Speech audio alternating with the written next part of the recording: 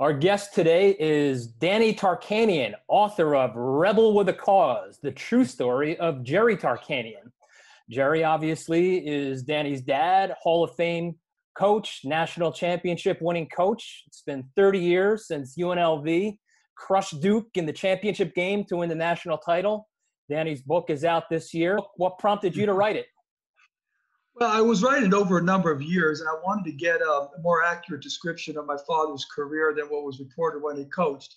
Uh, during the time he was coaching, the NC2A controlled the media so strongly that uh, a lot of what my father did and the image he had wasn't accurate.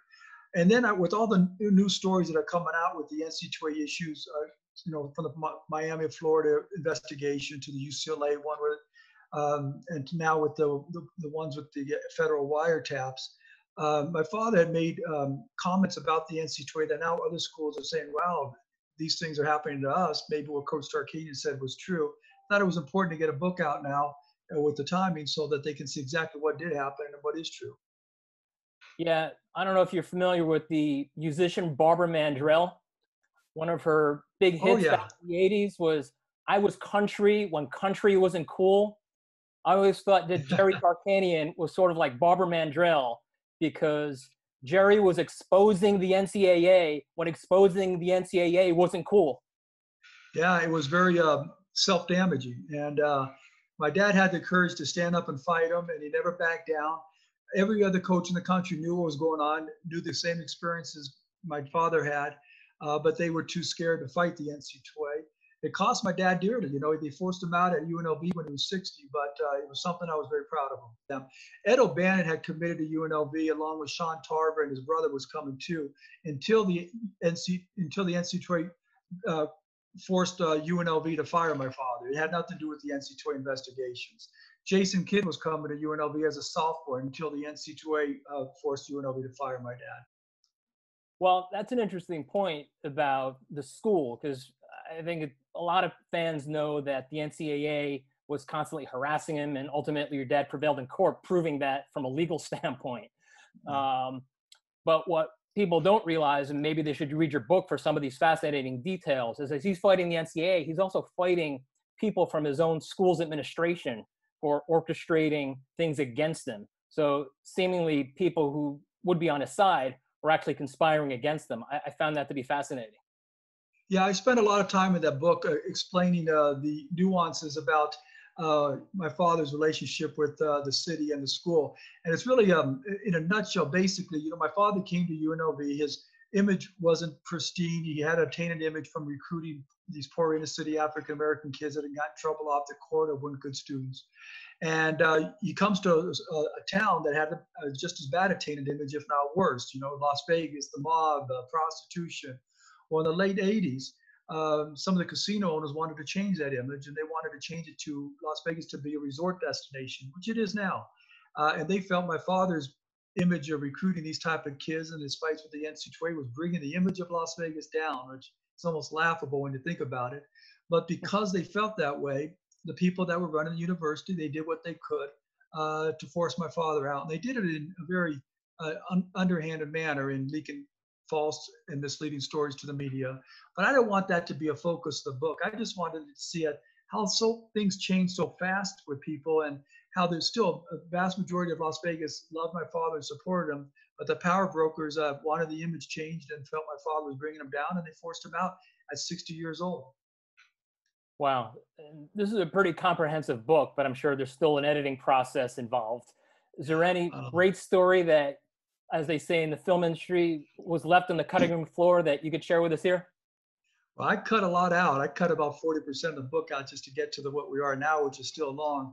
What I wanted to do for the book, and I think the readers that that do read it I really enjoy it, is I told stories about my father's recruiting battles with other schools. I talked about some of the other recruiting battles the schools had with my dad too. I, I put in a lot of his one-lining, one-line jokes like uh, the NC2A got so mad at the University of Kentucky, they put uh, uh, Cleveland State on two more years probation. Or that my when my father said uh, when, he, Greg Goorjian transferred to UNLV and was drove up to our house in a white Fiat convertible paid for by Arizona State. My dad said he loved four-year transfers because they all came with own car. You know, I, I put the funny stuff in there uh, that I think the, the readers are really going to enjoy. It's and that's what makes it different from a lot of other books. So this isn't just hey, the nuts and bolts of a fight with the NC2A. It's the humor, the the laughter, the camaraderie between the coaches. It's all put out in that book. You'll have to indulge me for a moment here because um, growing up, I grew up on the East Coast. I was a big Knicks fan, and in the late '70s, they drafted Glen Gondrezick from UNLV, oh, and yeah.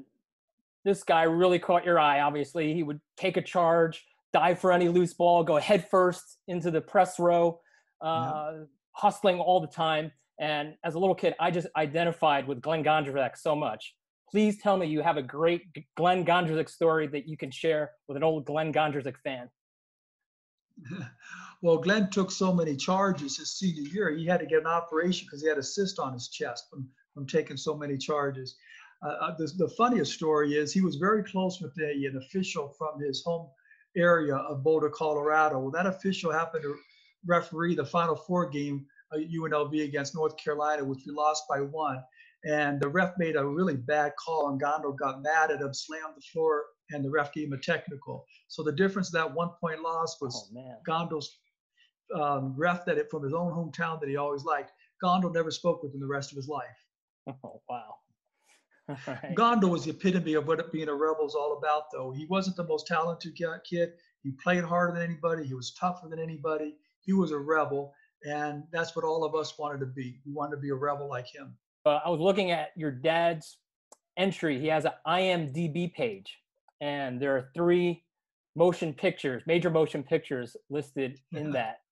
Blue Chips, The Fish That Saved Pittsburgh, and Honeymoon in Vegas. Of those three, which is your favorite? Uh, no doubt, Honeymoon in Vegas. I thought that was one of the most funny movies I'd ever watched. Uh, and my dad was funny um, um, at the uh, card table with uh, the crew. He was really funny. Cool. So ultimately, if there's a movie maybe based on your book that uh, gets produced, who plays your dad? We've been working on that, and we have some people that are trying to put it together. It may not be a, a two-hour movie; instead, maybe a series that's on Netflix or Amazon, like they're doing now. And um, they've talked about the different people, but the one that they like the most, he hasn't shown interest in it yet, but it's Paul Giamatti. All right, that would be an excellent choice. Who would play you? I don't know. Some young Robby Benson. I don't know. Yeah, he was in a basketball movie back in the day too. I'm trying to remember the name of it. Right? One, was it one on one? One on one. Great, yeah. Great one, yes. Yeah. Cool. Uh, anything else that you would like us to know about this project, or anything else you've got going on that uh, you would like to share with our audience? Yeah, you know, um, the big thing that I wanted to get across in the book was the kind of person my father was in his relationship. When he would started coaching, the, all the, the, his colleagues would motivate players by yelling and screaming at them and belittling players. My dad was never like that. He encouraged them through sarcasm and wit. And I wrote about one story when I was playing for him in 1982, 83. We were number one in the country, and he didn't think we were playing hard enough in practice. So he called the team in the huddle and he said, you guys are all a bunch of bandits. Next time you pick up a scholarship check, wear a mask and gun because you're robbing the university. You know, we were scared to death by the way he said it, but it was so funny. We wanted to laugh, but we went out there and played harder than anybody. So, you know, it's that kind of personality that I had that I just respect so much more. It was the way he was able to relate with people. And he related with kids, not only the ones that played for him, his colleagues, uh, boosters. He'd be at a bar and a drunk would come up to him and slobbering all over him, telling him, Coach, you should do this, you should do that, and your team would win. And my, my dad would say, Is that right? Is that right? Yeah, I'll do that. And the guy would leave thinking he told Coach Tark how to coach and felt great about it. My dad never listened to him. well, that's a huge part of coaching is being able to connect, relate, communicate with people. And like you said, his method may have been ahead of his time because we hear – now about how you know the screaming and acting like a maniac in the long yeah. run doesn't produce the dividends you actually want. Nope, it's all changed the way my dad was coaching. Great. Well, thanks so much for joining us here today. Once again, the book is Rebel with a Cause, the true story of Jerry Tarkanian. Our guest today has been Danny Tarkanian. Thanks for joining us, Danny. Thank you. I really enjoyed it. Thank you very much.